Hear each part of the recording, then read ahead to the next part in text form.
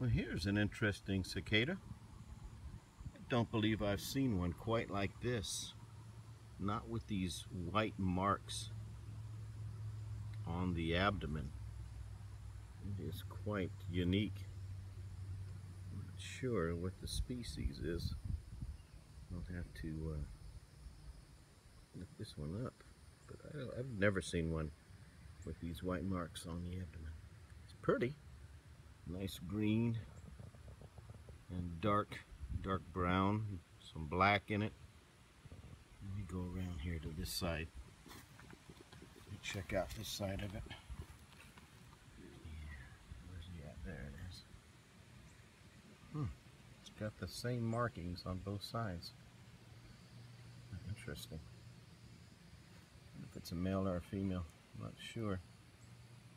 Anyway it's got the McDonald's mark inverted.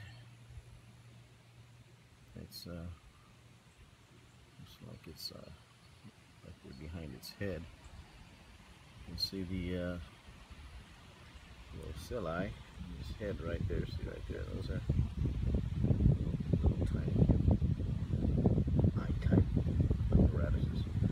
Uh, Interesting.